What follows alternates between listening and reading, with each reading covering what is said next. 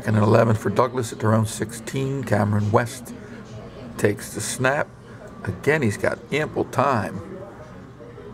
And it's broken up by Fort Hill.